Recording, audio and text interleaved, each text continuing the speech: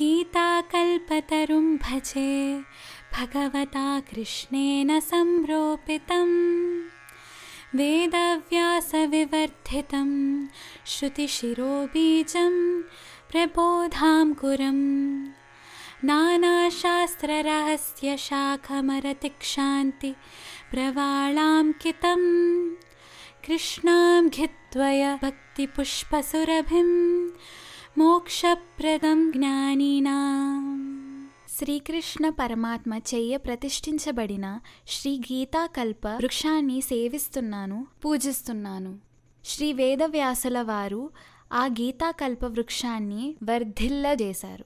ఉపనిషత్తులు ఈ వృక్షాన్ని యొక్క బీజాలు ఆధారాలు ఉపదేశమే ప్రధానమైన అంకురము. అనగా జలము. అనేక శాస్త్ర రహస్యాలే ఈ వృక్షానికి శాఖలు అనగా కొమ్మలు. లౌకిక విషయాలపై అనాసక్తి సహనము అనేవి ఈ చెట్టు యొక్క చిగుళ్ళు. శ్రీకృష్ణ పరమాత్మ యొక్క పాద పద్మములపై భక్తియే పరిమళ ఫలితములైన ఈ వృక్ష పుష్పాలు. జ్ఞానులకు మోక్షము అనే పండ్లను అనుగ్రహిస్తుంది ఈ గీతాకల్ప వృక్షము. అలాంటి ఈ గీతాకల్ప వృక్షానికి నమస్కరిద్దాము. కృష్ణం వందే జగద్గురుం.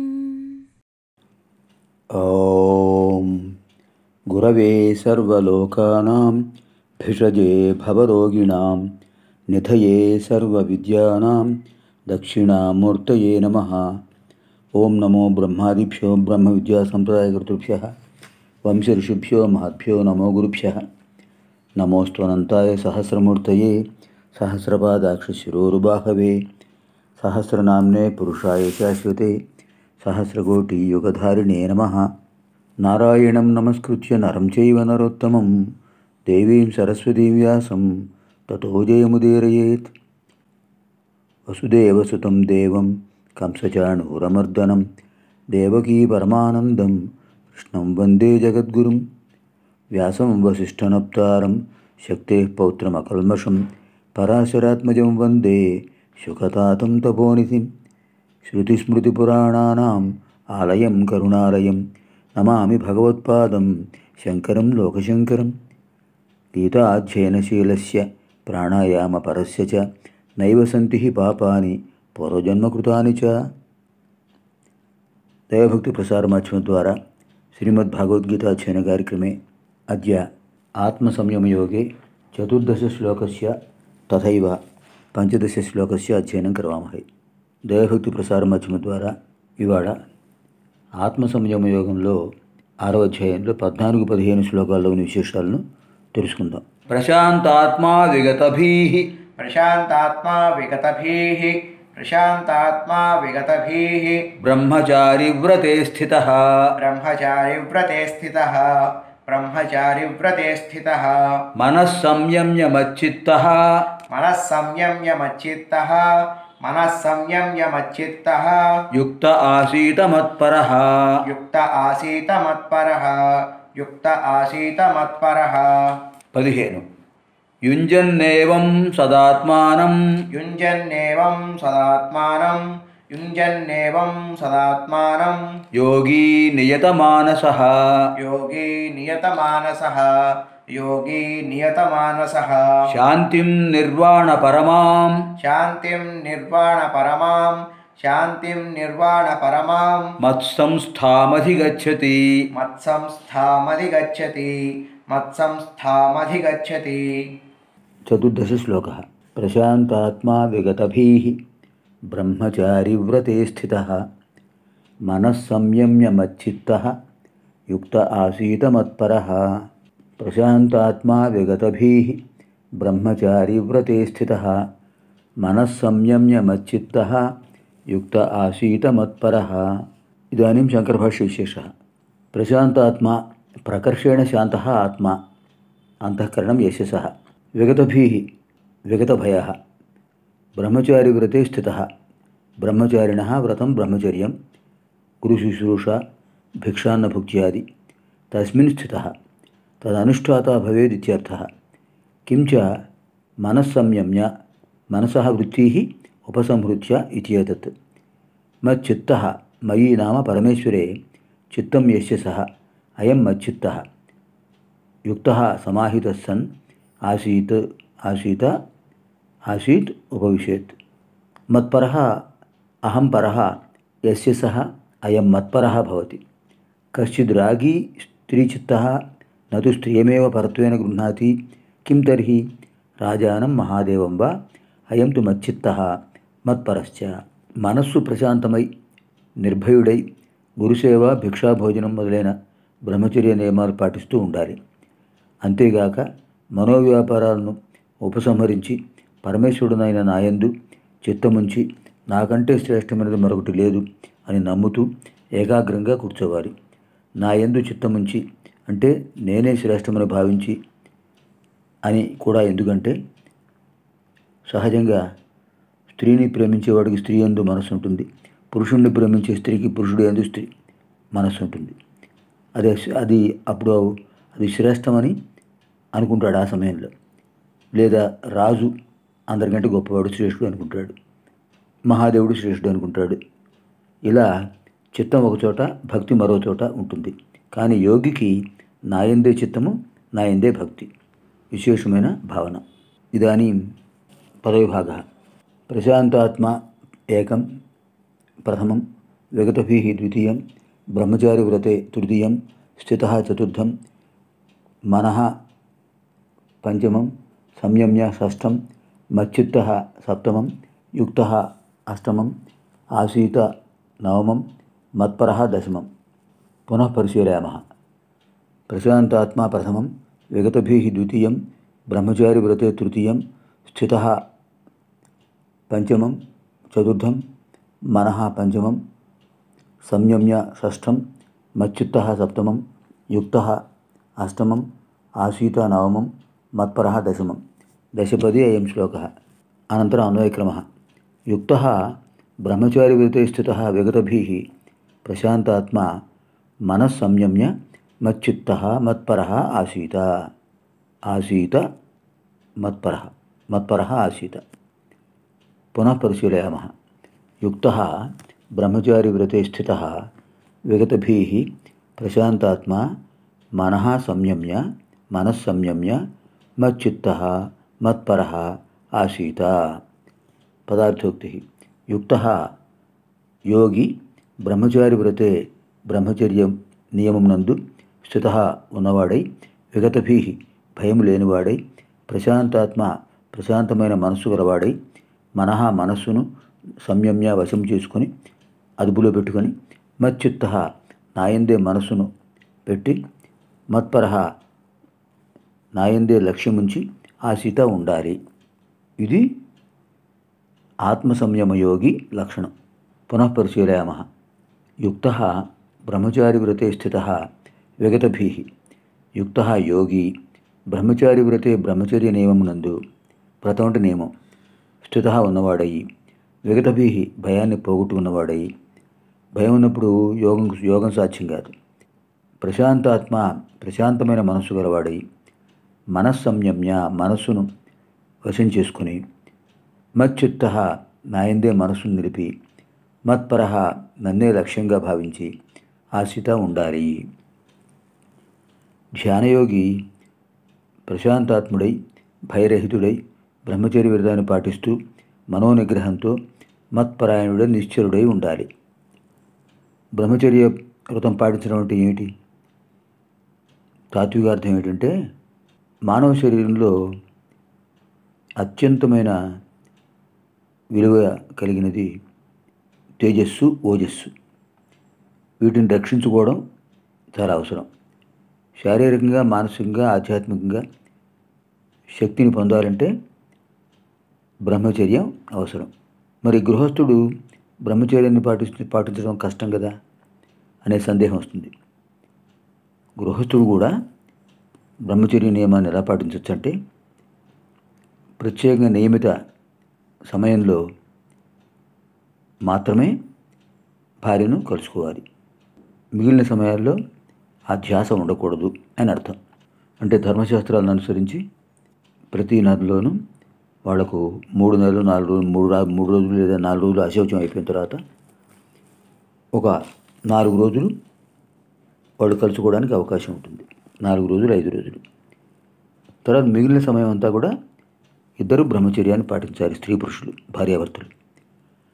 అందువల్ల వాళ్ళు యోగతను యోగ సాధన చేయడానికి అనుకూలమైన పరిస్థితి. అది అనుకూలంగా ఉంటుంది అని ఇక్కడ విశేషం అన్నమాట.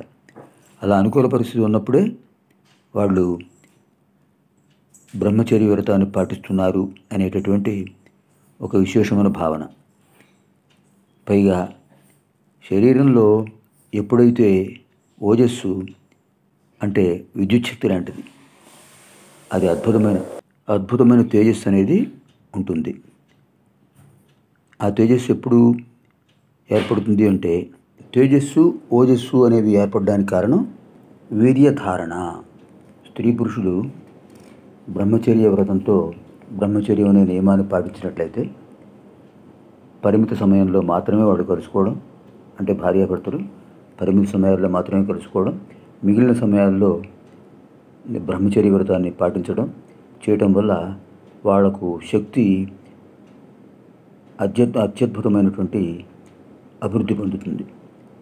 అది వ్యాధి నిరోధక శక్తి అనొచ్చు లేదా యోగాభ్యాసానికి అనుకూలించే శక్తి కావచ్చు. ఏదైనా సరే అది ఆధ్యాత్మికమైన శక్తి. అది దైవీ శక్తిగా కూడా మారే అవకాశం ఉంటుంది. అంచేత బ్రహ్మచర్య వ్రతాన్ని పాటించడం చాలా అవసరము. అది ఇక్కడ విశేషం. ఆ నియమాన్ని పాటించాలి. ఇంకా ఒక రకంగా ఈ కాలంలో ముఖ్యంగా ఇరవై ఒకటో శతాబ్దంలో అది సాధ్యమా అనే ప్రశ్న వస్తుంది. ఎంత ప్రయత్నించినా ధ్యానం కుదరటం లేదు. మనస్సు నిలవటం లేదు అనే సమస్య వస్తుంటుంది. అందు చాలామందికి ఇది సందేహమే. దానికి సమాధానం ఒకటే. ఏకాగ్రతను పాటించాలి. ఆహార నియమం ఉండాలి. ఆహార వ్యవహారాల్లో నియమాన్ని పాటించినప్పుడే మనస్సును ఏకాగ్రంగా ఉంచడానికి అవకాశం ఉంటుంది. దీనికి ప్రత్యేకంగా మంత్రజపం స్తోత్ర పఠనం విష్ణు సహస్రనామ స్తోత్రం లలితా సహస్రనామ స్తోత్రం. ఇలాంటి వాటి మీద ధ్యాస ఏర్పడాలి. వాటిని వాటినే ధ్యానిస్తూ ఉంటే విష్ణు సహస్రనామ శ్లోకాలు చదువుతున్నాం. లలితా సహస్రనామ శ్లోకాలు చదువుతున్నాం. దుర్గా సప్తశతి శ్లోకాలు చదువుతున్నాం. మనసు వాటి మీదే ఉంటుంది. అలా ఏకాగ్రత భావన అలా ఏర్పడుతుంది. స్తోత్ర పఠనం వల్ల. తర్వాత మంత్రజపం వల్ల కూడా సాధ్యమవుతుంది. ఒక మంత్రాన్ని నూట ఎనిమిది సార్లు జపం చేస్తున్నాం. ఆ నూట ఎనిమిది సార్లు చేసినంతసేపు మనస్సుకి మనసులో మరో ఆలోచన రాదు. ఇది ఏకాగ్రత అభ్యాసానికి సోపానం. అలాగే ప్రాణాయామం. ప్రాణాయామం ద్వారా కూడా ద్వారా కూడా మనస్సుకు ఏకాగ్రతను కల్పించవచ్చు అని పరిశోధకులు చెప్పారు. పతంజలి యోగశాస్త్రం యోగసూత్రాల్లో కూడా చెప్పాడు. మనస్సును కేంద్రీకరించడం కోసం ప్రాణాయామం ఒక విశేషమైన సాధనము అని చెప్పారు. ఇలాంటివి పాటించారు. అంచేత అది కాలం మారినా ధర్మాలు మారవు. పద్ధతులు మారవు. యోగశాస్త్రం అప్పుడు ఉన్నది ఇప్పుడు ఉన్నది. ప్రాణాయామం అప్పుడు ఉన్నది ఇప్పుడు ఉన్నది. కాకపోతే అప్పుడు పాటించేవాళ్ళ సంఖ్య ఎక్కువ ఇప్పుడు పాటించేవాళ్ళ సంఖ్య తక్కువ. అది ఇక్కడ గమనించాలి. అంటే మనం ఎంత శ్రద్ధగా చేసినట్లయితే అంత శ్రద్ధగా దాని ఫలితాన్ని పొందొచ్చు. ఇప్పుడు మనుస్మృతి స్వయంభవ మనువు ధర్మశాస్త్రం రాశాడు. అది మనుస్మృతి. ఆ మనుస్మృతి పరాశర స్మృతి గౌతమ స్మృతి మొదలైన గ్రంథాల్లో ఏం చెప్పారంటే బ్రహ్మచారి నిత్యస్నాయి ప్రతిరోజు త్రిసంధ్యావాన సమయాల్లో స్నానం చేయాలి. ముఖ్యంగా సౌందర్య సాధనాలు వాడకూడదు.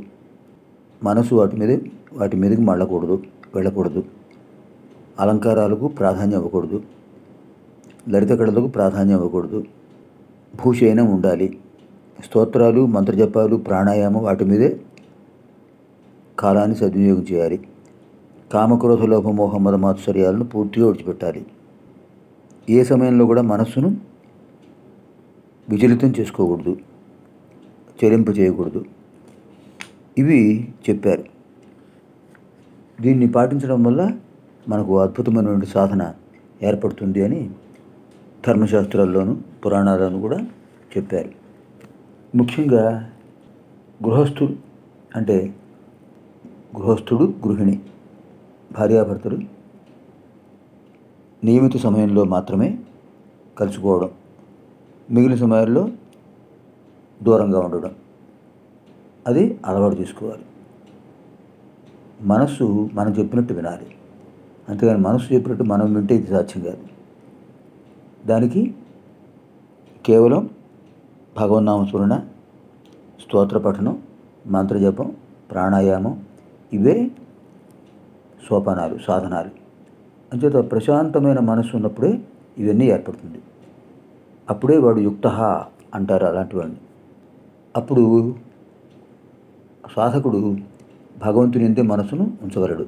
అదే మచ్చిత్త మత్పరాయణ అన్నా అన్నా కూడా అది అర్థం. భగవంతుని ఎందే మనసును లగ్నం చేస్తాడు. ఇది సగుణోపాసన అవ్వచ్చు నిర్గుణోపాసన అవ్వచ్చు. మనకు పురాణాల్లో అలాగే ఇతిహాసాల్లోనూ శ్రీకృష్ణుడు శ్రీరాముడు శంకరుడు శ్రీ మహావిష్ణువు యోగ సాధన చేసేవారు ధ్యానం చేసేవారు అని మనకు తెలుస్తూ ఉంటుంది. పరమశివుడు ఎప్పుడు ధ్యానం చేస్తుంటాడు. అంటే అర్థం ఏమిటి? మనస్సును స్థిరంగా ఉంచుకుంటారు. మరి వాళ్ళకెందుకు? వాళ్ళకి అవసరమా? శ్రీ మహావిష్ణువు ధ్యానం ఎందుకు చేస్తాడు? ఎవరిని గురించి చేస్తాడు? అంటే తనను ఎవరు ధ్యానం చేస్తుంటారో వాళ్ళను ఆయన ధ్యానం చేస్తుంటారట. అది విశేషం. భగవంతుడిని భక్తులు ధ్యానం చేస్తుంటారు. అప్పుడు భగవంతుడు భక్తుల యొక్క విశేషమైన సాధనను ఆయన ధ్యానం చూస్తుంటాడు. అది అక్కడ విశేషం. అలాగే మనకు యోగ వాసిష్టంలో వశిష్ఠుల వారు శ్రీరామచంద్ర ప్రభువు చెప్తాడు. ప్రాణాయామం ద్వారా మనస్సును కేంద్రీకరించుకోవాలి. తద్వారా ధ్యానం సాధ్యమవుతుంది. ధ్యానం ఉన్నప్పుడే మనం ఆత్మానందాన్ని పొందగలం అని అక్కడ వశిష్ఠుల వారు శ్రీరామచంద్రుడు ప్రభుకి చెప్పినట్టు యోగ యోగ యోగ వాసిష్ఠ విశేషం. ఇంకా యమునా నది తీరంలో ద్వాపరయుగంలో యమునా నది తీరంలో శ్రీకృష్ణ ప్రభువును శ్రీకృష్ణ పరమాత్మను అలాగే చూస్తూ గోపికలు గోపాలకులు గోవులు కూడా అలా చూస్తూ ధ్యానంలో ఉండిపోతారు ఆ ధ్యానంలో స్వామినే చూస్తుంటారు వాళ్ళు. ఇది మన భాగవతంలో చెప్పారు. అలాగే మరో విషయం కూడా చూసుకోవాలి. ఉద్ధవ గీత. శ్రీకృష్ణ పరమాత్మ యొక్క ఆంతరంగిక భక్తుడు ఉద్ధవుడు. ఉద్ధవుడికి అవతార శ్రీకృష్ణ పరమాత్మ తన అవతార పరిసమాప్తికి ముందు ఉద్ధవుడికి గొప్ప ఉపదేశం చేశాడు గీతోపదేశం. అది ఉద్ధవ గీత. అందులో ప్రత్యేకంగా స్వామి చెప్తారు. పూరక కుంభక రేచక శూన్యక ప్రయోగాల ద్వారా ప్రాణాయామాన్ని చేయడం వల్ల మనసును కేంద్రీకరించుకోవాలి. మనసును కేంద్రీకరించడం వల్ల ధ్యానం అలవడుతుంది. ధ్యానం వల్ల జీవాత్మను పరమాత్మ ఎందు స్థిరంగా నిలపడానికి అవకాశం ఉంటుంది. అప్పుడే ఆత్మానందం కలుగుతుంది. ఇన్ని విశేషాలు మనకు ఇతిహాసాల్లోనూ పురాణాల్లోనూ ఉన్నాయి. అంచేత ఇవన్నీ కూడా ధ్యాన విధానాలు. అదే ధ్యాన విధానాలు మనం ఇప్పుడు ఏం చేస్తున్నాం? సాకార ధ్యానం నిరాకార ధ్యానం అని ఏర్పాటు చేసుకుంటున్నాం. ఇలాంటి విశేషాలన్నీ కూడా మనకు ఈ శ్లోకంలో చెప్పారు. ఇదానీ శబ్దరూపాణి. ప్రశాంతాత్మ నకారాంత పులింగ ప్రశాంతాత్మని శబ్ద ప్రథమే గోచనాంత ప్రశాంతాత్మ ప్రశాంతాత్మానో ప్రశాంతాత్మాన. విగతభీ. విగతభీ శబ్ద ప్రథమే గోచనాంత పుంలింగ విగతభీ విగతభియౌ విగతభియ బ్రహ్మచారి వ్రతే అకారాంత నపుంసకలింగ సప్తం ఏకవచనాంత బ్రహ్మచారి వ్రతే బ్రహ్మచారి వ్రతయో బ్రహ్మచారి వ్రతేషు స్థిత అకారాంత పునుగా ప్రథమైకవచనాంత స్థిత స్థితౌ స్థితా మనః సకారాంత నపుంసకలింగ ద్వితీయకవచనాంత మనః మనసి మనాంసి సంయమ్య లబంత అసమాపక క్రియ అవ్యయం నియమించుకొని మచ్చిత్త అకారాంత పునుగా ప్రథమైకవచనాంత మచ్చిత్త మచ్చిత్తో మచ్చిత్తా యుక్త అకారాంత పునుగా ప్రథమైకవచనాంత యుక్త యుక్తౌ యుక్తా ఆసీత ఆసీత ఆసీయాతాం ఆసీరన్ ఆత్మనేపది వి- విధిలింగ్ ప్రథమపురుష ఏకవచనాంత మత్పర అకారాంత పునిగా ప్రథమైకవచనాంత మత్పర మత్పరో మత్పరా ఇదాनीं శ్లోకపునశ్చరణం ప్రశాంతాత్మా విగతభీ యుక్త ఆసీత మత్పర అనంతరం పంచదశ శ్లోక. ఇప్పుడు పదిహేను శ్లోకంలో విశేషం చూద్దాం. యుంజన్నేవం సదాత్మానం యోగీ నియతమానస. శాంతిం నిర్వాణ పరమాం మత్స్థం స్థాం అధిగచ్చతి. యుంజన్నేవం సదాత్మానం యోగి నియతమానస. శాంతిం నిర్వాణ పరమాం మత్సంస్థాం అధిగచ్చతి శంకరభాష్య విశేష అథ ఇదాनीं యోగఫలముచ్యతే ఈ విధంగా యోగాభ్యాసం చేస్తే మనకు విశేషమైన తత్వం ప్రయోజనం ఏమిటి? యుంజన్ సమాధానం కుర్వన్ ఏవం యథోక్తైన విధానేన సదా ఆత్మానం సర్వదా యోగి నీతమానస నియతం సంయతం మానసం మనహ యశస అయం నీతమానస శాంతిం నామ ఉపరతిం నిర్వాణపరమాం నిర్వాణం నామ మోక్ష. తత్పరమానిష్టా యస్యాహ శాంతే సా నిర్వాణపరమా. తాం నిర్వాణపరమాం మత్ సంస్థాం మదధీనాం అధిగచ్చతి నామ ప్రాప్నోతి. ఇంతకుముందు చెప్పిన ప్రకారంగా ఎల్లప్పుడూ ఆ భగవంతుణ్ణే స్మరిస్తూ మనస్సును నియమించుకుంటూ యోగాభ్యాసి క్షేమం పొందుతాడు. అదే శాంతికి పరమస్థితి ఒక పారమ్యమైన స్థితి అదే మోక్షం. పరమమైన శాంతియే మోక్షం. అది నా అధీనంలో ఉంటుంది. అంటే భగవంతుని అధీనంలో ఉంటుంది. అదే మోక్షము. ఆ శాంతిని పొందుతాడు సాధకుడు. ఇదానీమస్మిన్ శ్లోకే పదవిభాగ. యుంజన్ ప్రథమం. ఏవం ద్వితీయం. సదా తృతీయం. ఆత్మానం చతుర్థం. యోగి పంచమం. నీతమానస షష్ఠం శాంతిం సప్తమం. నిర్వాణపరమాం అష్టమం మత్ సంస్థాం నవమం అధిగచ్చతి దశమం. దశపది అయం శ్లోక. పునః పరిగణయామ. యుంజన్ ప్రథమం ఏవం ద్వితీయం సదా తృతీయం ఆత్మానం చతుర్థం యోగి పంచమం నియతమానస షష్ఠం శాంతిం సప్తమం నిర్వాణపరమాం అష్టమం మత్ సంస్థాం నవమం అధిగచ్చతి దశమం. దశపది అయం శ్లోక. అనంతరం అన్వయక్రమ. నియతమానస యోగి ఏవం ఆత్మానం సదా యుంజన్ మత్సంస్థాం నిర్వాణప్రమాం శాంతిం అధిగచ్చతి. ఇది కూడా యోగి యొక్క పరమ ప్రయోజన విశేషం. స్వామి చెప్తున్నారు. నీతమానస యోగి ఏవం ఆత్మానం సదా యుంజన్ మత్సంస్థాం నిర్వాణపరమాం శాంతిం అధిగచ్చతి. పదార్థోక్తి. నీతమానస మనస్సును నియమించుకుని నియమించుకుని అదుపులో పెట్టుకున్నటువంటి యోగి సాధకుడు ఏవం ఈ విధంగా ఆత్మానం తనను సదా ఎల్లప్పుడూ యుంజన్ నాపై ఉంటూ నాపై ఉంచుతూ నాపై లగ్నం చేస్తూ అంటే తన మనస్సును నాపై లగ్నం చేస్తూ మత్ సంస్థాం నాయందు ఉన్నటువంటి నాలో ఉన్నటువంటి నిర్వాణ పరమాం పరమానందానికి పరాకాష్ట అయినటువంటి నిర్వాణం అంటే పరమలక్ష్యం పరమలక్ష్యమైనటువంటి శాంతి. శాంతిని అంటే మోక్షాన్ని అధిగచ్చతి పొందుతాడు. ఇది యోగి యొక్క పరమ ప్రయోజనం. నియతమానస యోగి. మనస్సును నిగ్రహించుకున్నటువంటి సాధకుడు ఏవం ఈ విధంగా ఆత్మానం తనను సదా ఎల్లప్పుడూ అంటే తనను అంటే తన మనస్సును సదా ఎల్లప్పుడూ యుంజన్ భగవంతుని ఎందే లగ్నం చేసి మత్ సంస్థాం నా ఉన్నటువంటి నిర్వాణ పరమాం పరమ పరమ ప్రయోజనమైనటువంటి శాంతిం శాంతిని అధిగచ్చతి పొందుతాడు. మనోనిగ్రహ శైలి అయినటువంటి యోగి నిరంతరం పరమేశ్వరుడైనటువంటి నా స్వరూపమునందే ఆత్మను అంటే మనస్సును లగ్నం చేసి నా యందు నువ్వు దృష్టి పెట్టుకొని పరమానందానికి పరాకాష్ఠరూపమైనటువంటి అద్భుతమైన పరమశాంతిని పొందుతాడు. ఇక్కడ నీత మానస ఎందుకు అందు ఎందుకు చెప్పారంటే సాధకుడు మాత్రమే మాత్రమే ధ్యానం చేస్తాడు. సాధకుడు మాత్రమే యోగ సాధన చేస్తాడు. అంచేత అతన్నే నీత మానస అంటారు. ఇంకా పరమేశ్వరుడు ఎందుకు లగ్నం చేయడం అంటే ఏమిటి? మనస్సును బుద్ధిని పూర్తిగా భగవంతుడి యందు నిశ్చలంగా ఉంచాలి.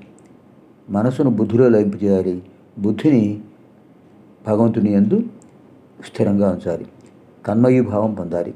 పరమేశ్వరుడు తప్ప ఇంకా ఏది దృష్టిలో ఉండకూడదు. అదే విశేషమైనటువంటి ధ్యాన స్థితి ధ్యానం యొక్క పరమావధి. ఇంకా నాయందున్న పరమానందం ఎందుకు చెప్పారు స్వామి ఈ విషయాన్ని?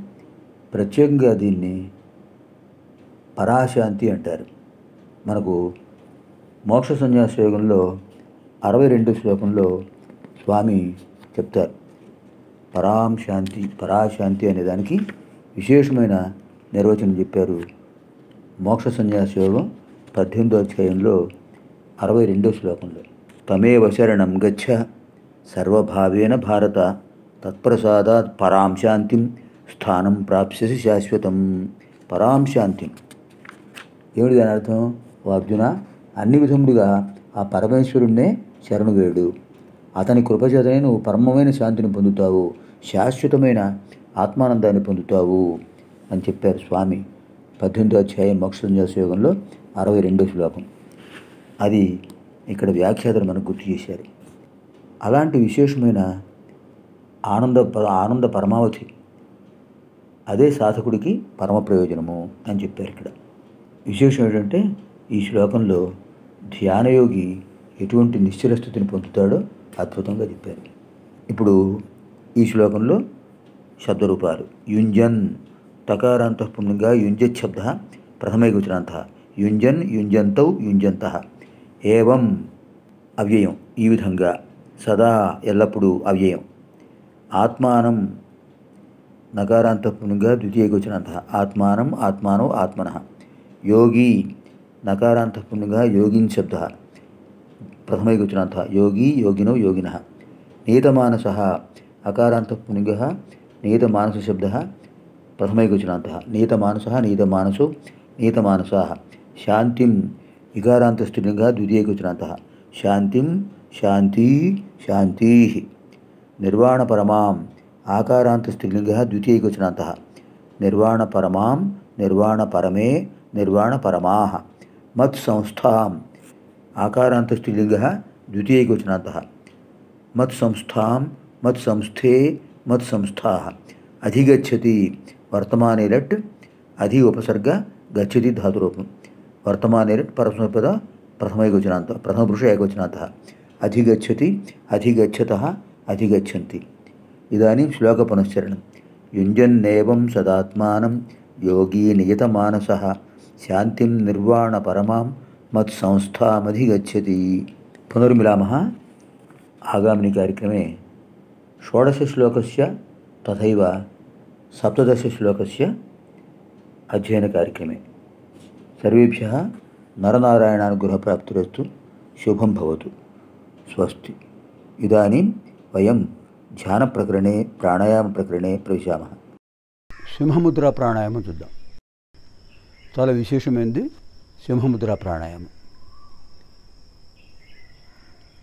సింహం ఏ విధంగా జంతువుల మీదకి ఒక్కసారి అలా ఉండి అలా మీద పడుతుంది భయంకరంగా గుడ్లు పైకెత్తి బాగా గుడ్లు పైకి బాగా కళ్ళు పై బాగా విప్పార్చి అలా భయంకరంగా మీదకి వస్తుంది ఇది సింహముద్ర ప్రాణాయామం. ఈ సింహముద్ర ప్రాణాయామంలో లోపలలోని కలుషితమైన వాయువు అంతా కూడా బయటికి పోతుంది. పూర్తిగా స్వచ్ఛమైన ప్రాణవాయువు ఊపిరితిత్తుల్లో పూర్తిగా నింపేస్తాం అన్నమాట. చాలా విశేషమైనది ఇది సింహముద్ర. సింహం ఏ విధంగా అలా మీద పెడుతుందో జంతువుల మీదకి జంతువుల పడుతుందో అలా ముందుకు పెడుతూ గాలి విడిచిపెడుతూ ముందుకు పెడతాం తర్వాత మనకి వస్తుంది. మళ్ళీ ఇలా మళ్ళీ వస్తాం. ఇలా. అది గాలి విడిచిపెడుతూ రేచకంలో ముందుకు పెడతాం. ఆపుతాం. శూన్యకంలో ఆపుతాం. మళ్ళీ బా- గాలి పిలుచుకుంటూ వెనక్కి వస్తాం.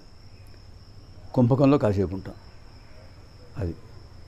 కుంభకం రేచకం శూన్యకం పూరకం కుంభకం. నేను చేస్తాను చూడండి.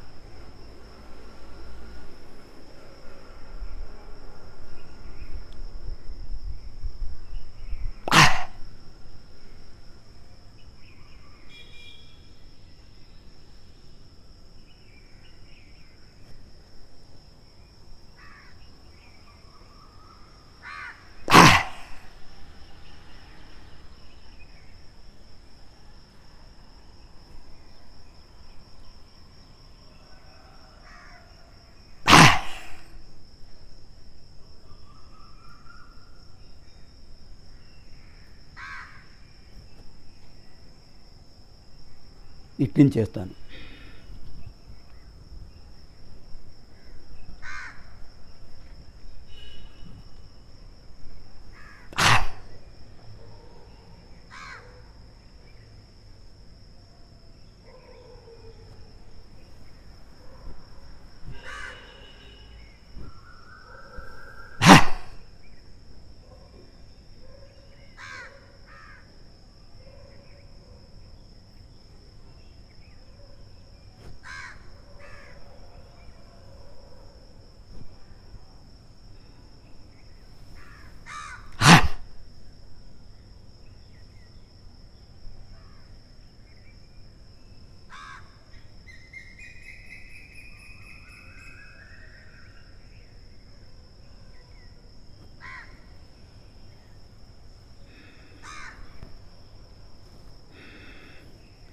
అంటే సింహ సింహముద్ర ప్రాణాయామంలో గట్టిగా లోపల కలిసి రేచకం చేస్తూ పూర్తిగా విడిచిపెట్టేస్తున్నాం.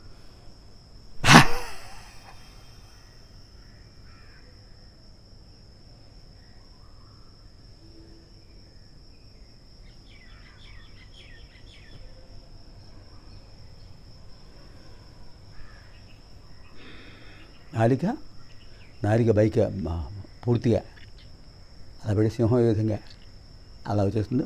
కళ్ళు బాయికి ప- పైకి విప్పార్చి రేచకంలోకి వచ్చేస్తాం. అలా శూన్యకంలో కాసేపు ఉంటాం. మళ్ళీ గాలి పీల్చుతూ వెనక్కి వస్తాం కుంభకంలో కాసేపు ఉంటాం. దీంట్లో కూడా రేచకం శూన్యకం పూరకం కుంభకం. ఇంకొకసారి చేస్తాం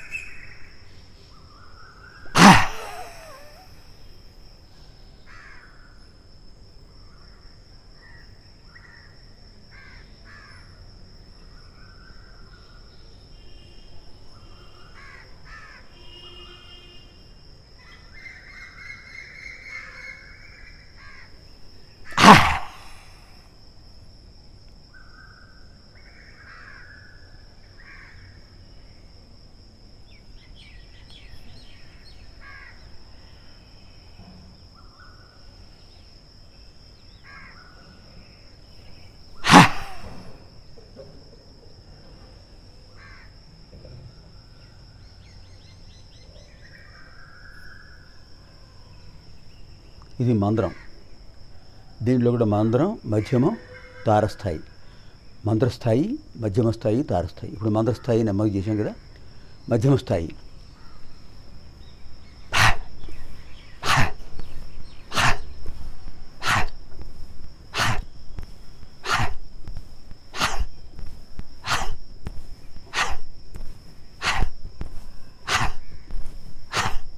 ఇది మధ్యమ స్థాయి ఇంక తారస్థాయి కొంచెం వేగంగా వస్తుంది.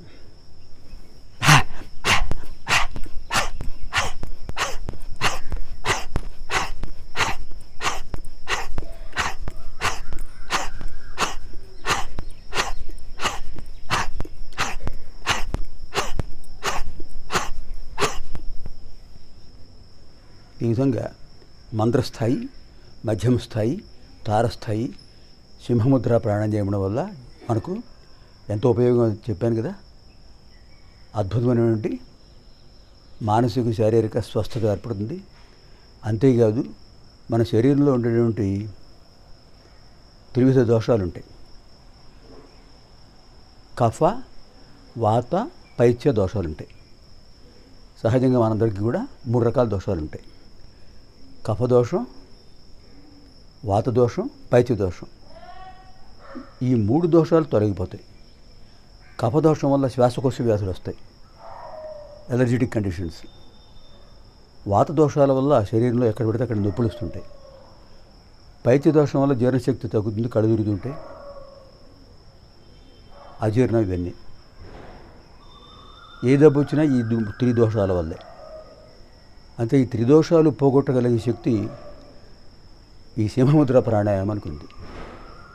త్రిశిఖి ముద్ర ప్రాణాయామం కూడా ఉపయోగిస్తుంది. ఈ రెండు రోజు కాకపోయినా రోజు మార్చి రోజు అని చేయొచ్చు వారానికి ఒకసారి చేయొచ్చు. రోజు చేస్తే మరీ మంచిది. ఇది విశేషమైనటువంటి సింహముద్ర ప్రాణాయామం త్రిశిఖి ప్రాణాయామం. మనం తీసుకునేటువంటి ఆహార పదార్థాల వల్ల మనకు సత్వగుణం రజోగుణం తమోగుణం మూడు రకాల గుణాలు వస్తుంటాయి. వాటి వల్ల కొన్ని దుష్ప్రభావాలు వస్తాయి. ఆ దుష్ప్రభావాలు పోగొట్టే శక్తి కూడా ఈ రెండు ముద్రా ప్రాణాయామాలకు ఉంది. ఒకటి త్రిశిఖి ముద్ర ప్రాణాయామం రెండవది సింహముద్ర ప్రాణాయామం. ఈ మూడు ఈ రెండు రకాల ముద్ర ప్రాణాయామాలు చేసి మన ఆరోగ్యాన్ని సక్రమంగా ఉంచుకుందాం. చాలా చాలా ముఖ్యమైనదండి యాజ్ఞవల్క్యుల వారు యాజ్ఞవల్క్య మహర్షి తమ శిష్యులకు ఉపదేశించినట్టు అద్భుతమైన ముద్రా ప్రాణాయామాలు ఇవి. సింహముద్ర ప్రాణాయామం త్రిశిఖీ ముద్ర ప్రాణాయామం. శుభం భవతు. ఇవాళ మనం ఇవి నేర్చుకున్నాం కదా? రేపటి కార్యక్రమంలో మరికొన్ని చూద్దాం. శుభం భవతు సర్వేభ్య.